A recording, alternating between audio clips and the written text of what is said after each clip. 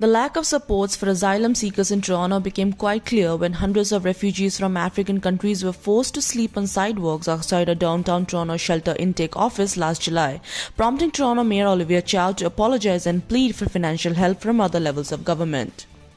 On Friday, the federal government revealed how much money Toronto would receive to help asylum seekers and low income renters. Deputy Prime Minister and Minister of Finance Chrystia Freeland said that the federal government would provide over $162 million in additional support for Toronto. A government release explained that first the federal government will provide an additional $143 million for Toronto through the Interim Housing Assistance Program IHAP to reimburse costs incurred by the city in 2023 and the first quarter of 2024. This additional funding will help the city to shelter the vulnerable asylum claimants in welcomes who come to Canada seeking protection from violence, war, and persecution.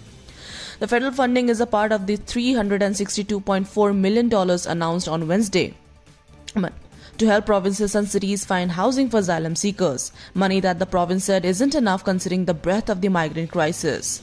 As of the last week, about 73,000 asylum claimants in need of housing uh, were staying at 4,000 hotel rooms in six provinces, Immigration Minister Mark Miller confirmed. On Wednesday, Paul Calandra, the Ontario's Minister for Municipal Affairs and Housing, said that even if all the $362.4 million went to Toronto, it still wouldn't be enough. Freeland also announced a $19.75 million top up to the City of Toronto's share of the Canada Ontario Housing Benefit. A federal government release stated that this benefit provides direct financial support to low income renters to help them cover the cost of rent.